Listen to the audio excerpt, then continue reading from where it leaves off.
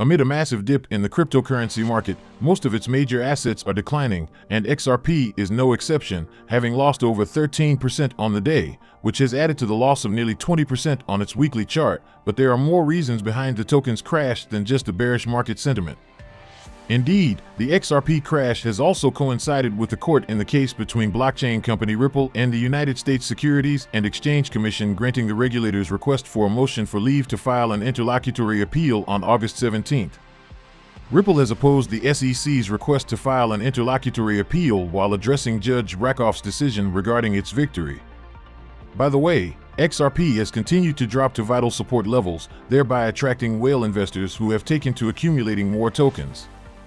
Also, what is the catch to the Japan's SBI VC Trade latest coin lending recruitment program for XRP? Finally, Fox correspondent Gasparino drops a hot take on the future of XRP, reporting that Judge Torres' Ripple ruling was a joke and should not be considered a win by Ripple. But the big question remains this, is the future of XRP uncertain with the latest turn out of events?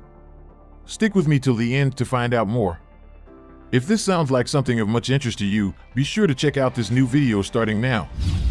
Hello everyone and welcome to our channel, where we talk about the latest updates on XRP and the cryptocurrency world in general.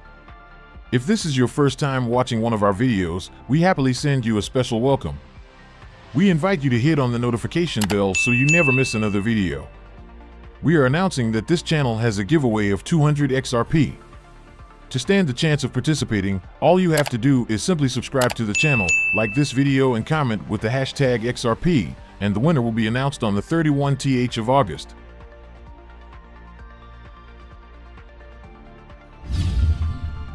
Leading blockchain company Ripple Labs has filed an opposition to the SEC's anticipated interlocutory appeal motion relating to the summary judgment decision by Judge Analisa Torres.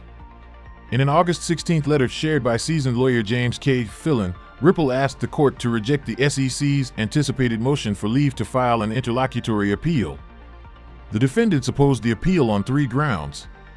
Firstly, Ripple argued that the summary judgment decision laid down by Judge Torres on July 13th does not involve a controlling question of law. Secondly, the leading blockchain company and its execs argued that the SEC could not show a substantial ground for a difference of opinion. Thirdly, Ripple stated that an immediate appeal by the SEC would not advance the termination of the litigation. It bears mentioning that an interlocutory appeal occurs when a court ruling is appealed while the case is still proceeding. The Ripple lawsuit still has pending issues the SEC's case against Brad Garlinghouse and Chris Larsen. Notably, the SEC claims that Garlinghouse and Larsen were reckless in allowing Ripple to distribute XRP the way it did.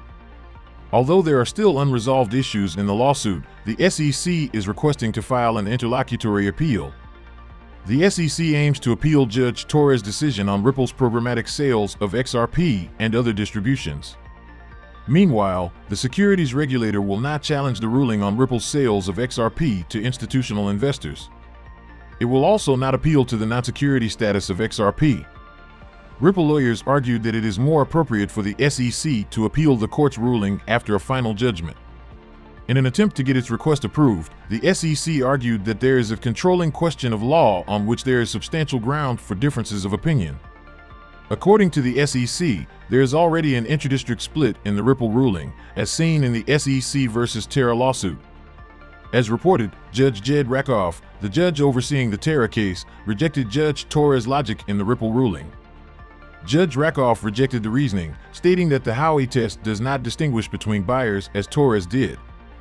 Thus, the SEC used the ruling as a basis to seek approval for its interlocutory appeal request. Fox Business journalist Eleanor Terrett highlighted how Ripple tackled Judge Rakoff's decision. In its letter, Ripple stated that its programmatic sales of XRP differ from Terra's sales.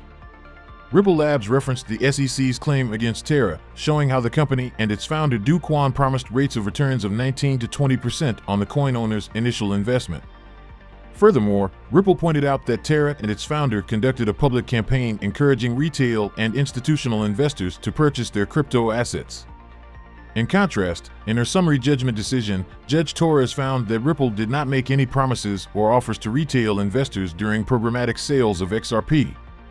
It added that the Terra judge also agreed with Judge Torres that digital asset sales alone are not inherently securities offerings. As expected, the crypto community has been reacting to Ripple's opposition to the SEC's interlocutory appeal request. Reacting, pro-XRP lawyer John Deaton described Ripple's response as excellent. However, he expects Ripple's execs to make stronger arguments in their response to the request.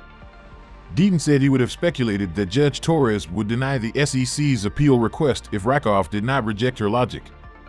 But with the Rakoff ruling out there, Judge Torres, allowing the SEC to write a formal motion will give her an opportunity to further demonstrate why her decision is sound and based on evidence, Deaton added.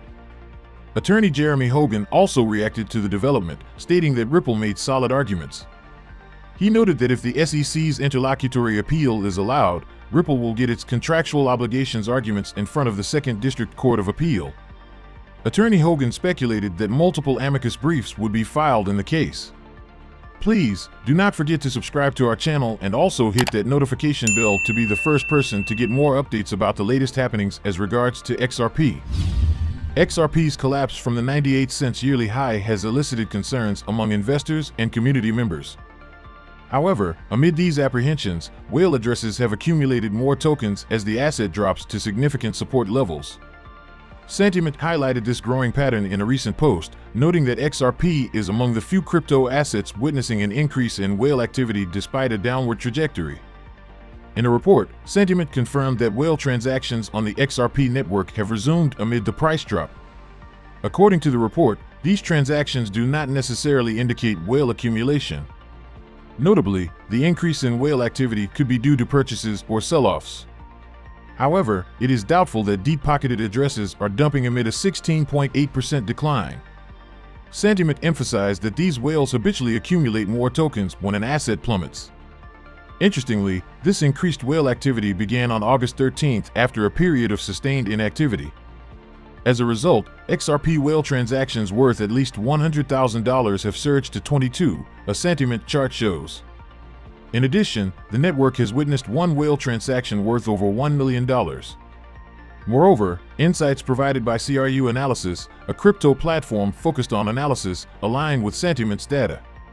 CRU Analysis highlighted that XRP has continued to print higher lows on the weekly timeframe since June 2022. The analytical platform stressed that this was evidence pointing to a sustained accumulation by institutional investors. Recall that the Crypto Basic confirmed last month that XRP investment products witnessed a remarkable increase in inflows. The recent legal clarity accorded to XRP has compounded institutional interest as investors who dreaded regulatory concerns can now procure the asset. In addition, Phoenix, another crypto-focused analytical platform, asserted that XRP is one of several assets currently in an accumulation zone. Meanwhile, XRP has broken below the 60 cent psychological support. The asset is changing hands at $0.5892 at the reporting time, down 2.12% over the past 24 hours and 8% in the last week. Prominent analyst Michael Van de Poppe previously pinpointed entry points between $0.6033 and $0.5663.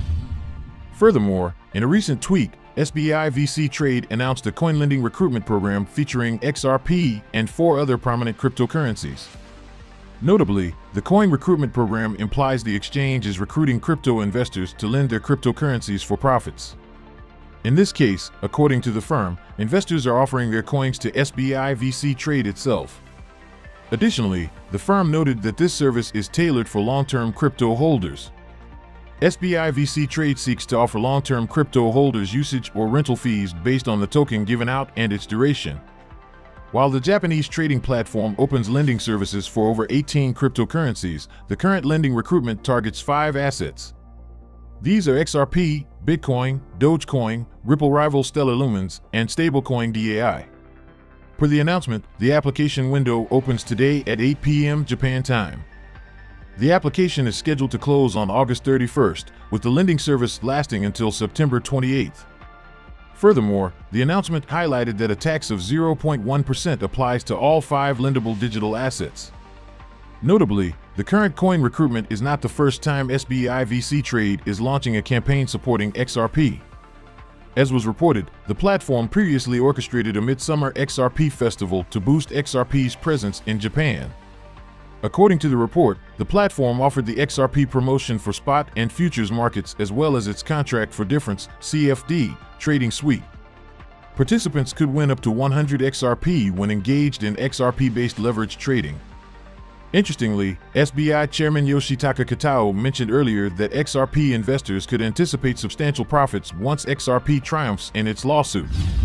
Now to the big question of the day. Is the future of XRP uncertain with the latest turn out of events? Please, do not forget to subscribe to our channel and also hit that notification bell to be the first person to get more updates about the latest happenings as regards to XRP. XRP has continued to be a subject of discussion in the crypto community. In a recent outcome, Charles Gasparino, a Fox Business correspondent, commented on the asset's future.